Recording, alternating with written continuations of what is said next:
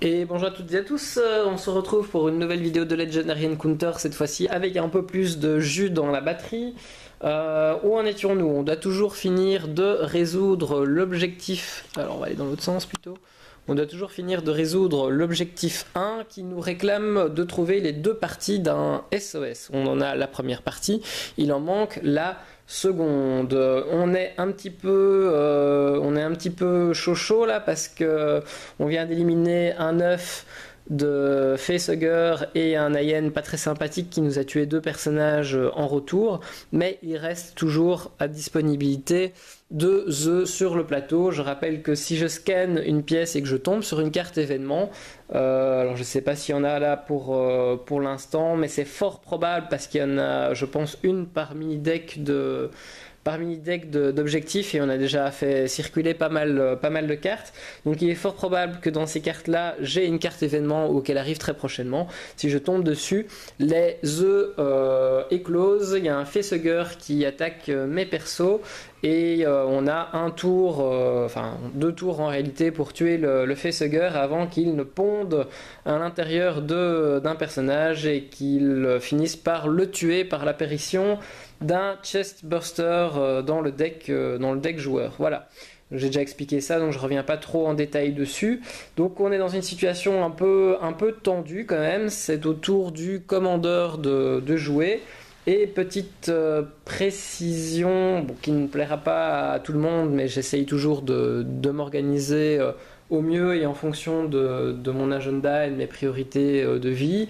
Il se peut qu'on aille jusqu'au bout de l'objectif 1, du moins si on ne meurt pas avant, mais qu'on s'arrête là pour cette euh, première partie, parce que vu le temps que ça prend de gérer deux joueurs, euh, si je dois faire les trois objectifs, ça va faire beaucoup beaucoup de vidéos, euh, plus que ce que j'aurais cru en fait, et je ne vais pas pouvoir les réaliser puisque je vais devoir quitter mon domicile comme, comme chaque semaine pendant plusieurs jours et je dois laisser euh, la table euh, à disposition pour quelqu'un d'autre, euh, pour d'autres personnes pendant ce temps-là. Et donc je ne peux pas laisser le matériel et déplacer tout ça en gardant le même deck de cartes, etc. pour les retrouver dans 4 jours et me rappeler où j'en étais, ça va être un petit peu compliqué. Donc on va tâcher tout de même, pour pas finir comme un cheveu dans la soupe, de finir l'objectif en cours. Et une fois cet objectif fini, il est probable très certainement que je déclare euh, la, fin de partie et qu'on se retrouvera plus tard pour une seconde partie plus zen, donc probablement cette fois-ci avec un seul joueur, euh, moi-même, en, mode non schizo, et là euh, on aura probablement le temps de s'attaquer en campagne à trois objectifs d'un coup pour le, pour le premier film en tout cas. Voilà, c'est comme ça que j'envisage les choses, j'aurais voulu qu'elles soient autrement. Mais bon, voilà, c'est comme ça. La vie est faite de priorités. Et, et puis c'est ma chaîne, je fais ce que je veux dans un petit bonhomme à mousse. Voilà. Donc, phase de Hive. Je dois malheureusement euh, faire de la place pour une nouvelle carte, ce qui est très très très embêtant. Néanmoins, je ne pousse pas un ennemi dans la zone de combat et les œufs euh, n'étant que des œufs, une menace importante certes, mais n'étant que des œufs, ils ne m'attaquent pas et donc, euh, et donc euh, peu importe qu'il y en ait un dans la zone, dans la zone de, combat. Voilà. Pour, euh, pour, être précis, je ne suis même pas sûr que je devrais me retrouver avec un œuf dans la zone de combat. Il aurait peut-être fallu que je vérifie s'il n'y a pas un encart là-dessus dans les règles, puisque comme les œufs ne bougent pas, ils restent là où ils sont. Je ne sais plus comment il a pu se retrouver dans la zone de combat. Ah si, c'est une carte qui a dû sauter au-dessus d'un œuf justement et qui est venue se retrouver dans, la zone de combat. Et donc je l'ai dévoilé là. Donc à mon avis, elle a, raison d'être là. Ou alors il y a une règle qui dit que l'œuf est détruit si on le déplace dans la zone de combat. Mais étant donné la, difficulté euh, permanente du jeu, ça, m'étonnerait. En tout cas, j'ai décidé de l'y laisser et de faire, euh, de faire avec. C'est au tour du commandeur qui a d'ores et déjà euh, l'appui du joueur 2, le synthétique, de, par l'apport, le prêt de cette carte coordinate qui offre tout de même deux points de scan ou deux points d'attaque et qui offre le trait survival. Donc euh, ça peut déclencher éventuellement un combat euh, un combo euh, survival dans une de mes cartes qui malheureusement je viens de le réaliser ne mènera pas à grand chose puisque la seule blessure que je pourrais soigner est en fait insoignable c'est précisé sur la carte. Donc Bref, revenons à nos moutons. Je prends ma main de 1, 2, 3, 4, 5, 6 cartes. J'ai un spécialiste. Je vais faire le tour du pied avec mon bras, ça sera plus simple. Si vous voyez les positions qu'on prend pour filmer parfois, alors, donc, un spécialiste, un point de recrutement, deux spécialistes, deux points de recrutement, un grunt, ça fait un point d'attaque, ici deux points de recrutement supplémentaires, encore deux points de recrutement, avec le fameux combo survival que je vais malheureusement pas pouvoir déclencher, et un point d'attaque. Donc j'ai quand même pas mal de points d'attaque, ce qui devrait me permettre de liquider euh, ces œufs qui me font un peu peur, parce que donc, euh, vous savez que les cartes événements, si je ne l'ai pas dit, il y en a dans chaque euh, mini deck d'objectifs et comme j'ai fait tourner pas mal de cartes, hein, il y a des ennemis éliminés, il y a toutes ces cartes là, donc il est fort probable que dans ces cartes ici il y a une carte événement ou alors elle va pas tarder à sortir et là euh, c'est la cata. Donc il faut absolument que je zigouille ces œufs et puis seulement que je me permette de scanner des, de scanner des pièces. Donc je vais commencer par le recrutement euh, parce que j'ai a de quoi faire. On va voir ça donc donc 1 2 3, 4, 5, 6. Sachant que en prime, avec cette carte-ci, euh, You have your orders, je peux regarder les deux premières cartes euh, du deck Barax, donc ici, et euh, choisir celle qui va rester au-dessus et celle qui va aller en dessous. Donc je vais commencer par faire ça, comme ça on n'oublie pas. voilà, je prends les deux premières cartes, zou, je les regarde avec vous. Donc c'est encore une euh, procédure de quarantaine, hein, une carte qui permet de purifier un peu son deck en éliminant un personnage. Et une carte euh, capitaine euh, du vaisseau qui m'a l'air très très très sympathique puisqu'elle apporte une classe leadership qui autorise une attaque à 4 points. Sinon bah, elle fait quand même 2 points donc c'est pas mal. Donc j'ai gardé celle-là au-dessus. C'est une carte qu'on a déjà sortie précédemment, elle est là. Euh, et je vais ranger la, purge, la purge en dessous.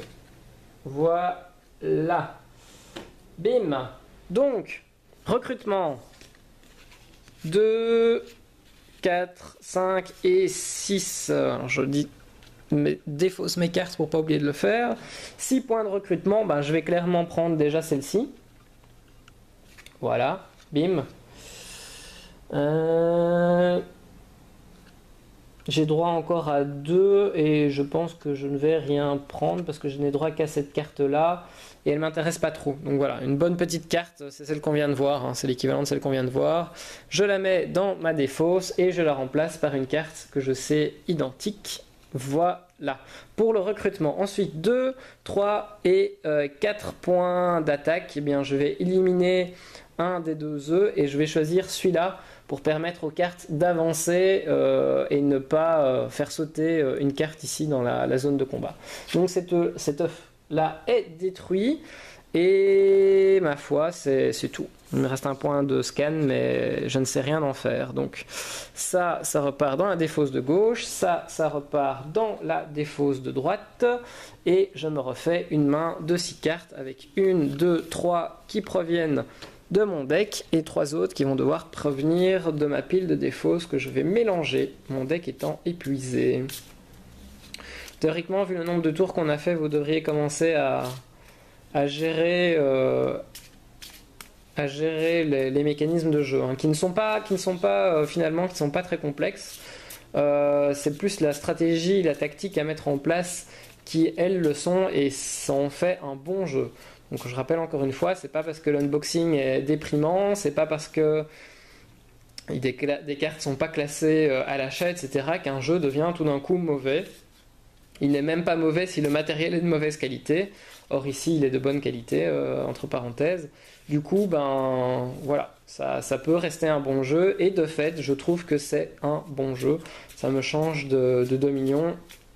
Dominion qui ne se joue pas en solo d'ailleurs. Voilà. Un 2, et il y en a une qui colle un petit peu, donc 3 pour un total. Pour un total de 6 cartes dans ma main. On va voir si j'ai du coordinate ou pas. Non, j'ai du spécialiste, du spécialiste, du quarantaine, du spécialiste, du spécialiste et du... Oh my god, et du spécialiste. J'ai un point d'attaque. Ça craint du boudin. Donc, j'ai pas de carte qui me permettent de me coordonner avec, euh, avec quelqu'un. Donc euh, ma main est déposée. Je ne sais rien en faire. Et notre ami le synthétique va devoir se débrouiller seul. Mais avant ça, phase de Hive. 1, 2, 3, 4. Et une nouvelle petite carte dans le complexe. Donc là, il faut... J'ai aucune idée de ce qui remplit le complexe. Mais à mon avis, le SOS, la deuxième partie du SOS maintenant doit être quelque part là. Hein, parce que il y, a, euh, y a combien de cartes? Je pense que c'est chaque fois 9 cartes pour un objectif 1. Le mini deck fait 9 cartes, et puis c'est 11 cartes, et puis c'est 13 cartes, je pense, pour l'objectif 3. Mais si on compte. Si on compte. Alors, 1, 2, 3, 4, 5, 6. 7, 8, 9, 10, 11. Je me demande si on n'a même pas entamé le mini deck de l'objectif 2. Donc il y a de fortes chances que, mon objectif pour finir cette partie euh, soit, euh, soit présent dans les cartes ici. Mais je veux zigouiller l'œuf avant de scanner.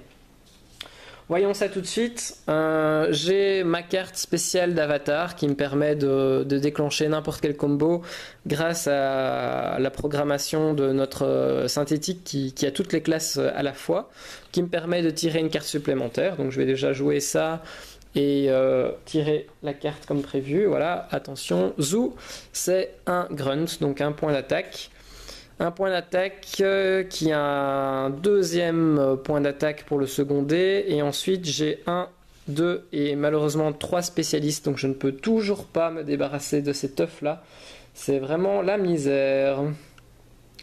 Donc ceux-là ils me permettraient de scanner mais j'ai vraiment la trouille de scanner et de tomber sur un événement. Euh, ce serait bien mon genre. Ce serait bien mon genre. Ce serait bien mon genre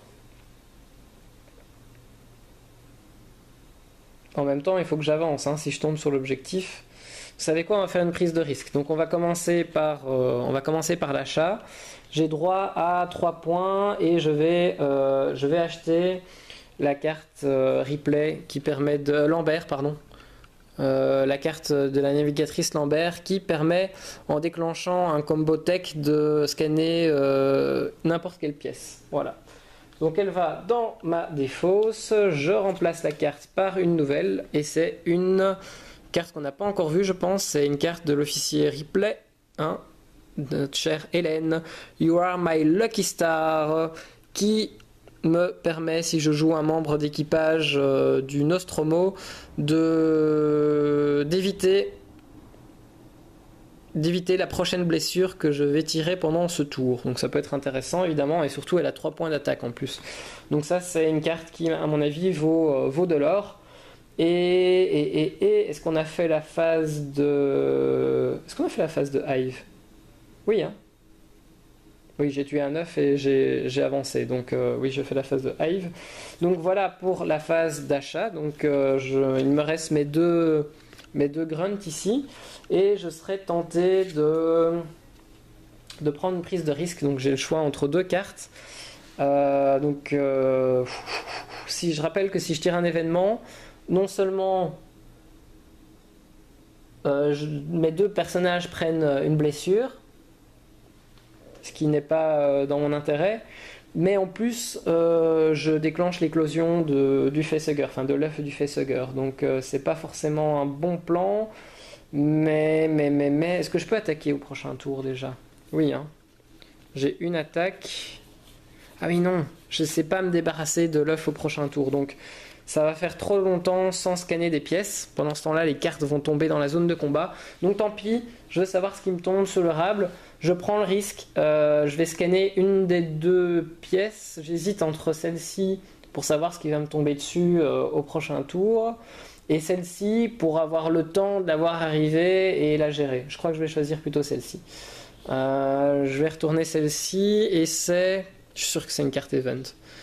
C'est. Events. Voilà. Euh, malheureusement, c'est une carte événement.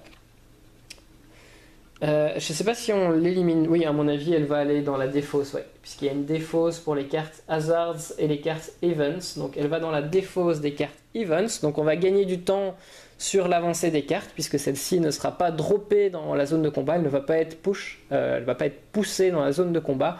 Mais par contre, mais par contre, donc, Events, objectif 1, Event, euh, vous et le joueur suivant tirez tous les deux une blessure. Donc on va commencer par ça. Le deck blessure est ici.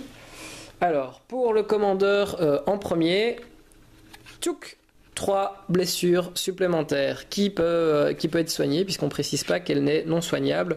Et c'est une brutale puncture qui vient nous transpercer la cage thoracique. C'est la deuxième fois qu'il prend 3 de dégâts. Il a donc 6 points de vie en moins sur 11. Il n'est plus très frais. Il n'est plus très frais. Et pour le synthétique, cette fois, attention, 0, 1, 2, 3, 4 ou 5, bim Et c'est seulement 1. C'est une petite euh, flèche wound, euh, voilà, une blessure euh, de la chair. pas très grave, mais encore avec une belle illustration, encore une fois, ça c'est vraiment très très soigné. Hein. Avec une petite citation du film It's got a wonderful defense mechanism. Voilà.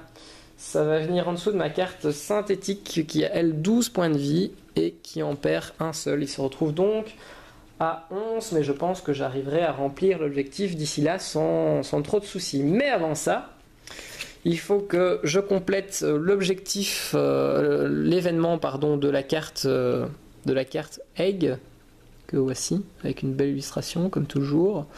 Et euh, ce texte event me dit tuez cette hyène et mettez un facehugger euh, du deck Hatchery devant vous. Voilà, donc je tue la et je prends une carte facehugger que voici, que voilà.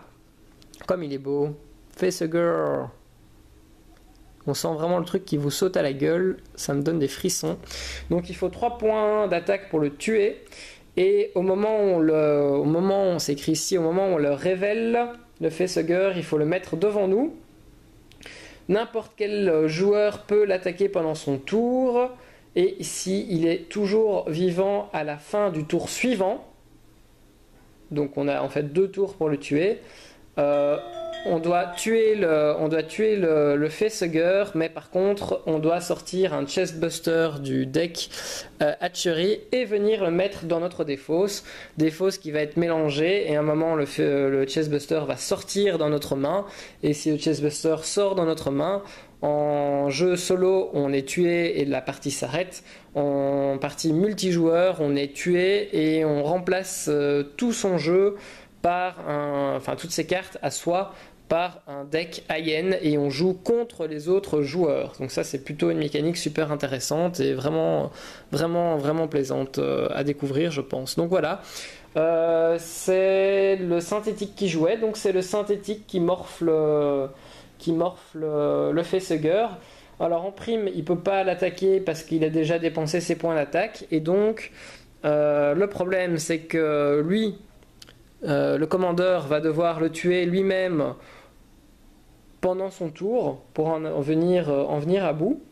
Et on sait déjà qu'il n'a qu'un seul point d'attaque, donc euh, malheureusement, malheureusement, euh, c'est très mal barré pour notre ami le synthétique. Voilà, hop, une petite pause en temps réel pour vérifier quelque chose.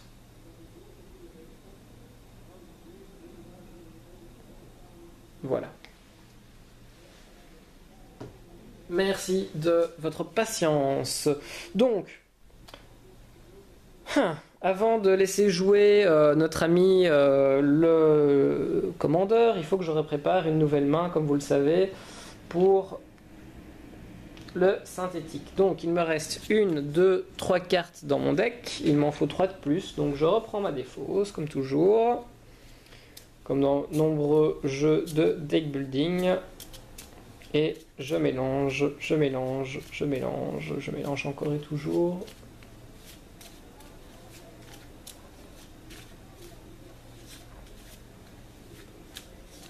Voilà. Alors, 1, 2 et 3. Zou. On a un deck prêt pour le reste, le tour suivant. Et qu'est-ce qu'on a? Donc je vérifie que je ne me suis pas trompé. 1, 2, 3, 4, 5, 6. On a du spécialiste pour le recrutement. On a du grunt pour les dégâts. On a donc 3 points de 3 points d'une carte spéciale euh, review de Nev Data, une carte navigateur Lambert, qui est une carte coordinate que je vais utiliser parce que ça va me sortir du problème actuel. Et surtout, euh, c'est une carte coordinate qui offre 3 points d'attaque, ce qui est suffisant pour dégommer le facehugger qui, euh, qui m'ennuie. Donc, je mets ma main de côté, prête à être utilisée au tour suivant. Je prépare la carte coordinate pour donner un coup de main à mon collègue qui va me donner un coup de main. Vous voyez que je suis pas du tout schizo. Hein. Euh, et comme j'ai tiré une carte coordinate de ma main, je tire une carte de mon deck pour la remplacer. C'est une autre carte coordinate, mais ce n'est pas celle-là que j'utiliserai ce tour-ci, évidemment. Voilà. Donc, attention, c'est parti. Phase de Hive pour le commandeur. Check, check, check et une nouvelle carte encore une fois. Et cette fois-ci, euh, j'ai pas le choix. Je dois tuer le facehugger. Si je tue pas le facehugger, le, le va, mourir de lui-même et faire apparaître le chestbuster dans le deck du synthétique euh, qui le tuera. Donc euh, il faut que je tue le facehugger et grâce à la carte coordinate du synthétique lui-même, eh bien j'ai d'ores et déjà les trois points euh, suffisants pour zigouiller cette affreuse bestiole que j'envoie sans attente dans la défausse des ennemis morts. Merci navigateur Lambert, navigatrice Lambert. Il me reste quoi à jouer? Il me restait plein, plein, plein, plein, plein, plein, plein de cartes pour... Euh, euh, engager quelqu'un. Donc un point de recrutement, 2 euh, points, 3 points, 4 points, 5 points de recrutement, c'est pas mal. Euh, avec ces 5 points de recrutement qui partent dans la défausse, je pense que je vais... C'est dommage qu'il m'en manque un parce que j'aurais bien pris la carte à 6 ici. Mais je vais me contenter de la carte à 4 là. Voilà, donc c'est la carte euh, qu'on a déjà acquis récemment et qui permet d'attaquer à 2, voire à 4 si on utilise une carte euh, avec le symbole bleu, donc leadership, dans le même tour. Je vais prendre cette carte-là, je vais la remplacer, zou, par une nouvelle carte très intéressante à 6 points, et je vais, je vais, euh, il me reste que cette carte-là, et avec cette carte-là, qu'est-ce que je peux faire? Je peux regarder la carte, euh, la première carte du deck du joueur synthétique et choisir de la tuer ou de la conserver. C'est ce que je vais faire. Donc celle-là, elle part dans la défausse. La carte coordinate repart dans la défausse du joueur synthétique pour ne pas l'oublier. Je prends le deck du synthétique je regarde la première carte et la première carte c'est un spécialiste que je vais effectivement euh, tuer pour commencer à épurer un petit, peu mon, deck. Même si la fin de partie n'est pas loin on va aller jusqu'à la résolution dans cette vidéo de l'objectif hein, que ça prenne euh, encore 10 minutes ou 20 on y va puisque comme ça sera la fin de partie euh, je, je, fonce. Donc, donc voilà. Donc le commandeur a fini de jouer, je dois donc repréparer sa main. 1, 2, 3, 4, 5, 6. Voilà qui est fait.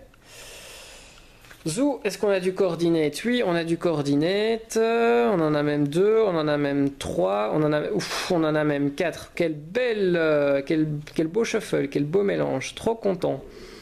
Euh, trop, trop content. Bon. Ben, il va recruter à mort hein, au prochain tour. 1, 2, 3, 4, 5, 6, ok. En attendant, bah, il va offrir deux points de recrutement, prêter en tout cas deux points de recrutement à son collègue synthétique. Au passage, il va prendre une carte supplémentaire et c'est encore une carte, euh, c'est encore une carte recrutement, décidément. Sa main est prête à être jouée.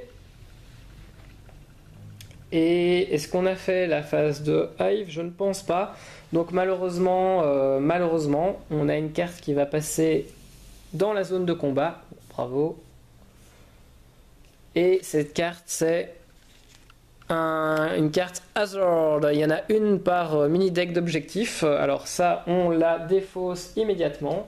On prend la carte de scénario, location, et on regarde ce qui se passe quand on tire la première carte hasard. Donc il y en a trois en tout une par objectif, et on les résout dans l'ordre. Donc, euh, ben, Hazard 1, brought something back, add two arrive cards to the complex. Eh ben, c'est un truc tout pourri. Euh, qui nous arrive puisqu'on doit rajouter deux cartes euh, au complexe. Donc heureusement, il y a la carte qui vient de tomber dans la zone de combat n'est pas un ennemi, donc on ne sera pas attaqué, mais je dois rajouter deux nouvelles cartes. Donc il n'y a pas photo, hein. on avance de deux cases. Une, deux, hop, hop, hop. Je suis sûr que la deuxième partie du SOS est là. Hein. La, victoire est, la victoire est toute proche. Il faut juste se décider. Et la carte qui tombe dans la zone de combat, c'est. Ah bah c'est la deuxième partie de l'objectif, voilà. Fin de partie. Part of the SOS euh, Objective One Goal, voilà classement de la carte, une illustration toujours aussi bien foutue. On voit vraiment les images, euh, du film. Hein. On reconnaît vraiment les, scènes et les événements. Alors, sur Révélation, on la déplace dans Operation. Et quand elle est dans Operation, si on a les deux parties de l'objectif, eh bien, on peut les défausser et passer à l'objectif 2. C'est le cas. J'ai les deux parties de l'objectif. Je peux donc défausser euh, ces cartes ce qui est marrant, c'est qu'ils n'ont pas prévu de zone. Ils ont, des zones de défausse pour quasiment tout, mais pas pour les objectifs. Donc on va les défausser à côté de la pile objectif. On enlève l'objectif 1 et si on avait continué une partie euh, normalement, eh bien on aurait entamé, donc sans rien changer de la situation actuelle, on aurait continué à jouer en entamant l'objectif 2 qui s'appelle No one can hear you scream, euh, personne ne peut vous entendre crier avec une magnifique illustration de conduite-ventilation. Et euh, l'objectif, c'est bloquer, le, bah, bloquer justement les conduits de ventilation. Voilà. Et si on tire une carte événement, on obtient l'événement intitulé People are disappearing, des personnes disparaissent. Ça veut dire que le joueur suivant doit éliminer, euh, enfin doit défausser, pas tuer, défausser euh, deux cartes aléatoires de sa main. Donc euh, au tour suivant, ça veut dire qu'il ne joue qu'avec 4 cartes au lieu de 6. Bon, bloc de Ventilation Shaft. Je ne sais pas comment on fait ça, puisque c'est ma première partie. J'imagine que dans les cartes, on a quelque part euh, une carte qu'on scanne, on la retourne et on a un bloqueur de, ventilation. Une carte qui dit mettez cette carte là et la ventilation est bloquée et passez l'objectif 3. Voilà. Donc euh, je vais la laisser là. Et je vais vous remercier d'avoir euh, regardé cette, euh, cette partie de Legendary Encounters version 2 joueurs. Alors c'est pas du tout une version custom, hein, c'est la version 2 joueurs comme elle est prévue par les règles du jeu. J'espère que ça vous a intéressé, que ça vous a montré un petit peu comment, euh, comment se déroule une, une, partie à deux. J'espère que j'ai pas fait trop d'erreurs et que j'ai pas eu trop d'oublis. Mais ça m'a fait en tout cas vraiment, vraiment, vraiment plaisir de jouer euh, à ce jeu. Donc je suis content après un, premier contact un peu froid euh, avec l'unboxing euh, qui est déprimant, avec le livret de règles qui me plaît pas beaucoup. notamment pour un manque d'illustration et la déconvenue de devoir passer 30 minutes à trier toutes les cartes avant de pouvoir jouer la première fois alors que vous êtes chaud boulette pour votre première partie, eh bien on se retrouve devant un jeu qui a des règles bien écrites, enfin claires je veux dire. J'ai dit que j'appréciais pas trop le livret de règles, mais les règles sont quand même relativement compréhensibles à la lecture et on voit que les mécaniques sont assez souples fonctionne bien, tourne bien, et je suis donc très satisfait de ce jeu Legendary Encounters. Je pense pas que j'achèterai un jour les autres jeux Legendary, en tout cas le, jeu principal euh, qui est euh, qui est celui euh, basé essentiellement sur les vilains, les super vilains et les super héros. Mais ce qui est sûr, c'est que je vais continuer à jouer à celui-ci autant personnellement que en vidéo, rassurez-vous. Même si la, première, la prochaine fois, je pense qu'on fera le même scénario pour pas passer au deuxième film avant d'avoir résolu le, premier. Mais cette fois-ci, je jouerai avec un seul personnage et donc ça devrait être plus fluide. Euh, moins de je prépare ma main, je mélange mon deck, je prépare la main, etc. Ça sera plus fluide et à mon avis plus sympa. Et puis ça sera plus cool pour moi aussi de ne jouer qu'un seul joueur et d'y aller, aller en mode zen. Voilà. Donc merci. J'espère que ça vous a intéressé. Je rappelle, si c'est la première fois que vous voyez une partie de Legendary Encounters en français, qu'il existe une partie euh, en cours actuellement, au moment où je tourne la vidéo, mais qui est probablement terminée depuis, sur la chaîne euh, de Ben, hein, sur la chaîne des jeux sur la table, que vous pouvez aller voir euh, également. C'est une partie un joueur, ce qui vous permettra de voir une mécanique différente, hein, sans devoir utiliser les cartes coordinates. Donc une mécanique plus rapide et plus souple, c'est peut-être euh, intéressant si vous voulez vraiment revoir avant achat éventuel comment fonctionne le jeu. Je pense que ça vaut la peine d'aller jeter un œil en attendant que je fasse éventuellement moi une partie solo. Et je vous dis à très bientôt. Rendez-vous sur la chaîne, rendez-vous sur le forum du cœur de la loge comme d'habitude. Euh, rendez-vous dans les commentaires, rendez-vous où vous voulez en fait. Et à très bientôt pour, euh, pour la suite. ciao à tous et prenez soin de vous.